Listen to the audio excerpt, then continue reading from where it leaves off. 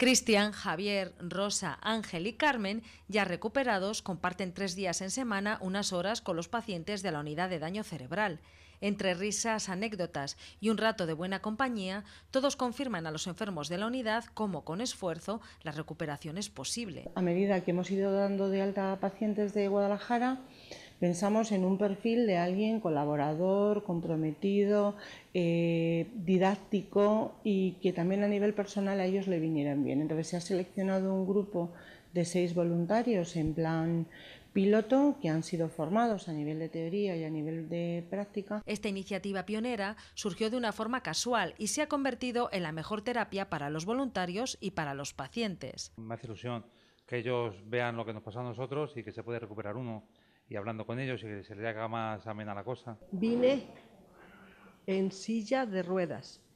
No podía hablar. Me cuesta un poco todavía, pero con el tiempo y el esfuerzo quiero eh, superarme poco a poco.